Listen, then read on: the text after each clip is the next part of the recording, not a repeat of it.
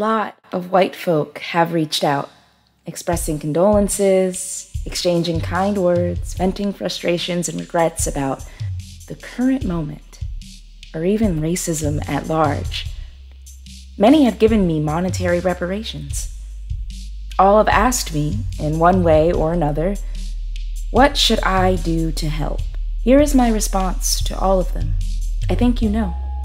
And yes, it really is that difficult. There is no shortcut. It is a nasty, bloody untangling that will implicate every part of your existence and your memory.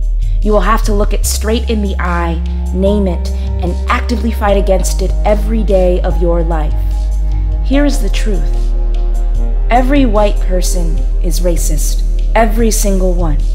Whether you ask to or not, whether you realize it or not, you have signed the social contract allotting you a certain amount of privilege and power over every non white person based solely on the color of your skin and reinforced by centuries of genocide, institutionalized forces, policy, culture, language, etc., etc., etc. Not only this, but you have grown up comfortable in this contract. You have reinforced it yourself. You have even felt shame for doing so, but continue to because you do not know another way. You still believe that the police can be reformed. You believe that MLK was a pacifist and forget that he was murdered by the state. You center conversations about black grief around you because, and I get it, the floodgates are opening and you don't know what to do with all this energy, this sudden awareness that everything is tainted, this heaviness pulling you down, your shadow lagging behind you that seems to comment on every step you take with a do better, people are dying, it's your fault because you didn't do better. Here's another truth. Yes, you're right. And here's another. A lot of us still love you anyway. But some of us hate you. And you've got to be okay with that. I certainly am. And if you're white and upset by the fact that the love isn't reciprocal, I urge you to interrogate your philosophies on love. Why does love have to be a transaction? Why must you receive in order to give? What is the nature of the resentment that you're harboring? Is it bound up in pride and self indulgence? Is your love predicated on virtue signaling and reward? Our love is our gift to you. And yes, it is really that deep. It really, really is. And I can only speak for me. But I choose to still love you because I choose to live in the utopia where this kind of critical thought, equity, and radical love can thrive and be standard. I choose to believe it because I have to to make it through the day. I have to remind myself of this every day, every single day, like an incantation and hold it close and nurture it and infuse it into every dicey interaction, but some days I fall short, and I will not apologize for that. I will not apologize for feeling too much. My body, my history, my very existence, whether I like it or not, has signed the contract that ties me to everyone's shadow, and that simultaneously leaves my own to be swallowed up by the dark. This is a great burden, but it's also the greatest gift because I believe that this kind of empathy will save us. The theory that will build the utopia will be born out of this empathy, and I believe that it is my divine duty to get there by any means necessary. Any means. So, what can you, white folk with bleeding hearts, do? Learn your shadow. Become intimate with it. Know its every move Talk to it every day. Know that it will always be with you. Interrogate it. Let it be soft. Do not take pictures of it and post it on your feed. Do not even let me know that you've embraced it. Because if you truly have, we will see. It will ripple through every intention you have. You will feel more pain because of this newfound acute awareness, and your closets will be filled to the brim with bones.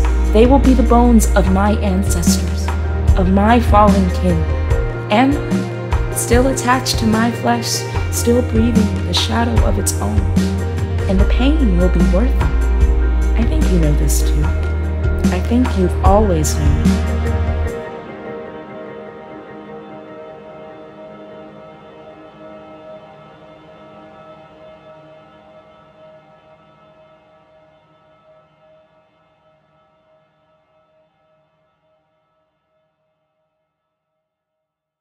Okay. Hi. Hi, Ang. Hello. How you doing? I'm doing okay. How are you? I'm all right. Um, for for people who don't know you, can you introduce yourself, please? Yeah, sure. Uh, this question. My name is Ang Bey. My pronouns are they, them, theirs, and I am a storyteller based in Philadelphia, Pennsylvania. Yeah. Awesome.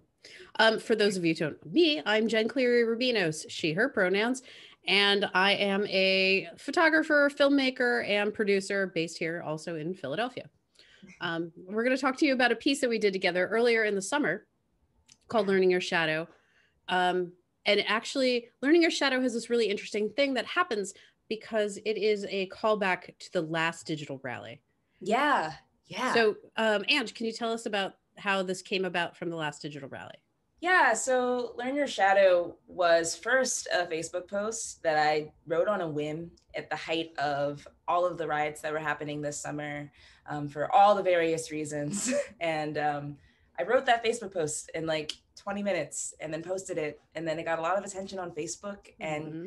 Gabby, Gabby um, asked me if I could um, read it, uh, read the Facebook post during the last digital rally. And um, I was on the call with Gabby and Kiara, and um, it was it was just me reading it, and I guess it resonated with a lot of people. And uh, Gabby and Power Street asked me to to work with you to to film it and do a cool little like voiceover movie situation with the text. Yeah, so. it was really great to work with you. Um, I saw it as a Facebook post initially as well. I was mm-hmm. like, um, it resonated a lot with me because uh, not only am I white, but I am Latinx, mm-hmm. and so um, a lot of the times, those of us who who ride both of those um, also have a lot of learning to do. There's this interesting like cultural thing where we sometimes don't think of ourselves uh, as being white. Yeah, but we very much are. I mean, my name, uh, the way that this presents, like obviously, no one's gonna, no one would ever guess otherwise if I was just walking down the street. So my experience of the universe is very different from like yours. Mm-hmm. Um, and so uh, also at the same time that this was happening, there's um, the We See You, mm-hmm. um, which a lot of us, I hope, uh, signed out there. Yeah, um, if you don't know about it, you should get in there and and read and sign that manifesto. It's really important, uh, and especially for those. Yes, yeah. for for people who are theater makers in the United States. I think uh, keep yourselves informed as to what's going on. Mm-hmm. Um, so you've seen the film at this point. Yeah. Uh, it was at the top. If you missed it, um, hopefully we'll play it again at some point. I'm sure uh, Power Street will have it on their website. But um, let's talk about uh, going from a post to being a short film. Oh man, yeah. yeah. Uh, what did you think of that process? Like, uh, walking around Germantown? I so I recently moved to Center City, so I watching the video, it was like super nostalgic for Germantown. I lived there for like almost a year um, with my lovely housemates, and yeah, it's a, it's a great neighborhood. It's a great neighborhood that's already like bubbling with like uh, social justice, and that's already like built into the culture there. Um, it's a very like family oriented neighborhood people that have been there have been there for years and years and years. Um, so just like walking around Germantown, uh, I grew up in Philadelphia too. And um, I have family that lived in Germantown, which was like my impetus for moving there in the first place. It felt like, um, it felt really emotional. It felt, it felt really, really emotional because uh, I was able for the first time in a long time um, to like really like pay attention to to my neighborhood in such like a specific way like it's so easy to walk past that Black Lives Matter um, crochet art um, on, in front of the old high school. It's so easy to walk mm-hmm. past that every day and just like not, you know, stare at it and and really appreciate it for what it is and and, what it symbolizes. And there's so much artwork like that happening around Germantown, and then and not even just like the artwork, but there's like historical sites that we, we're living and breathing and walking in like history in in that neighborhood. So I mm-hmm. thought it was a mm-hmm. perfect place to um to shoot learn your shadow. Yeah. I really loved because as I was driving, because I I live in between Powelton and Mantua, which is also another historically black neighborhood. and driving from where I am to where you are, I noticed all of those crochets as I was driving to your house. And uh, you remember we went on that wild goose hunt, just running around looking for Brianna. Uh-huh. Um, uh-huh. Because they were just so beautifully put, uh, spaced on that one block. And it felt like a really beautiful, loving tribute to all of these different folks who have lost their lives Mhm. uh, within the year. It was it was just the folks that year, and we were only in I think we were only in July when we did this. I think so. I think you're right. Or like early August. It was it was still like we had just reached the halfway point of the year, and there were so many names, and that uh, was such um it was such an upsetting thing to have that be, be so populated with people. Yeah. um so I, i'm glad that we got to walk through and and see all those names and see all those different art pieces and i feel like a bad person because i'm not remembering the name of the crochet artist I think it's La Fresca Yarn. It's I feel like you're right. I follow her. Uh, or follow i will i will tag it and i'll put a a I'll little. put, I'll put something right here yeah, but but but they do like amazing, amazing work all over Germantown, all over the city. Um, Mhm. even on like bus stops and bus terminals and things in Germantown. There's cool crochet. It's really Mhm. beautifying neighborhood. yeah and, and it's it's a beautiful reminder for i mean because germantown there's a lot of black folks but there's also a lot of white white folks who live in there and shop along Germantown Ave. And I think it's it's good to have those reminders. oh. Um, yeah. And for for me, when we were shooting this, I I intentionally took our walk and I kept repeating it. Mm. Um, so when you see it, you're like, wait, it's it's all choppy. And the reason I did that was because this is like the experience.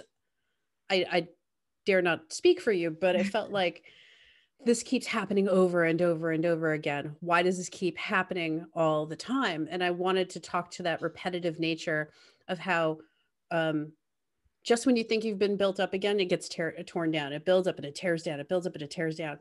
And so for me, seeing this cyclical thing over and over again and hearing your words felt like the best way to represent what was going on. And unfortunately, now uh, we're filming this in January Yeah. and we're facing the same stuff still. Um, Well, and that was always like, I don't want to be a pessimist or anything, but you know, like I say in the piece that, that like to live and strive for the utopia that we may not live to see or something like that. Um, Mhm. and that comes with the expectation that this is going to keep happening like, like it's going to keep happening so long as we keep allowing um, ourselves to live live blindly um, yeah and and like i say that vaguely because we're all in different places and and all of it but yeah it's t- january 2021 and, and and, and Yeah. yeah. I mean, within the first week, we saw the siege on the Capitol. Like Yeah. we're we're still seeing it, um, and it's it doesn't seem to be letting down, and that's that's really upsetting for a lot of us. Um, but there's a really interesting thing that's addressed in the film, which is how do white people learn? How do, how do us white folks learn our shadow? And you say it so beautifully and i'm gonna i'm gonna jump to this. Learn your shadow and become intimate with it. Know its every move and talk to it every day. Know that it will always be with you and interrogate it. Let it be soft. Do not pay, take pictures of it and post it on your feed. Do not even let me know that you've embraced it because if you truly have we will see it. It will ripple through every intention you have and you will feel more pain because of this newfound acute awareness, and your closets will be filled to the brim with bones. They will be the bones of my ancestors, all of my fallen kin, and mine still attached to my flesh, still breathing with a shadow of its own. And that is such, it's like a very beautiful gut punch that we need to hear. yeah Oh, no, no, no. I mean, like, yeah yeah yeah yeah we, yeah. we tear things down, but that's not necessarily a bad thing. Right. yeah absolutely. And Um, I I I specifically love the you know don't take selfies with it idea. Great. Like the- Everyone turned their their Instagram profile picture to black, a blackout space, and then like one by one, e- every white person's like, okay, is it okay to like put my profile picture back? And I like watched it happen over the course of like two months. I Uh, actually lovingly got very called in by uh, another friend of mine who told me to not do that, and I immediately revoked it.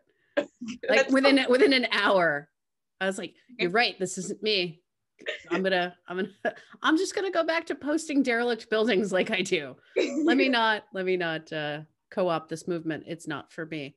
And um, I think that's that's really an important thing is to also not virtue signal. Um, it does nobody any good.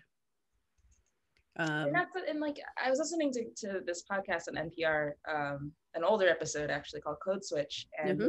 they had a whole episode about how most white people in America do not have diverse friend groups, and they don't have black people specifically in those friend groups, and that like, fuck it, like like it, I, I, I we it, like, it, it blew my mind. it blew my mind, but also like it made a lot of sense um, because I often like wonder like, don't you have black people in your communities? Like, and not just like one black person, but like we're not a monolith either. And it really does start there. It starts there, those interpersonal relationships. It starts with your friend saying, hey, maybe, I don't know if your friend was black, but like having some like sort of like cult, uh, racial understanding or cultural awareness or whatever. Yeah, yeah, you you would hope so, but actually, I started to think about that because I I'm familiar with that episode too, and I started thinking about redlining Uh-huh. and how we kept everybody away from each other, and how we we kept black people away from home ownership, which is generally a thing for the suburbs, and that's where we keep most white people. Mhm. Um, you know, we gave them the ability to buy houses and have general generational wealth that we we don't allow black people to have. Right. Um, Right. so I, I started to think about stuff like that. I was like, oh yeah, because I mean, you're a city person, you're a city kid. You grew up in a, I grew up in a city too. Like Yeah. it would be weird for us to not have friends from different ethnicities and different cultures and different religions and gender expressions. But then when you go out to the suburbs and the other rural areas, it's, it's very white yeah. and it's been kept that way intentionally. it's yeah, absolutely and i grew up in southwest philly and i don't think i would have had the diverse friend groups that i ended up having in my adult life if it weren't for my parents um, placing me in like private schools in the city honestly um, and like getting that like proximity to whiteness and proximity to like um, uh, like like the toolkit that i needed to articulate what was going on like Mhm. racially and geographically in my life um and that and i'm like so grateful for that but like there's segregation that happens within the hood you know like, like, Yeah. there it's not an accident um and i grew up in a predominantly black neighborhood predominantly black and immigrant and latino labor neighborhood and so um those were all my friends until my parents like said oh we need we need to get you a better education. That's what that was that's what their impetus was. It wasn't let, let's have you have white people friends. It was like get you a better education. Well we we generally have reserved better education for white people. Right right, right. Um yeah i mean i grew up in washington heights in new york uh so predominantly you know latinx um and eventually we moved to inwood which isn't that further north but it's a huge difference. All of a sudden i started seeing like uh irish american kids which i never saw. Uh which was a, a really weird thing for me to say. Uh, it was it was a very confusing time for me. I was like oh wait um the new school. This is very odd. Hi hello. I, I, I knew no, no I, I knew nothing. I knew nothing about irish culture. It was hilarious. Uh i that's that's another podcast yeah i had i had i have similar experience. We should talk about that offline. Yeah yeah.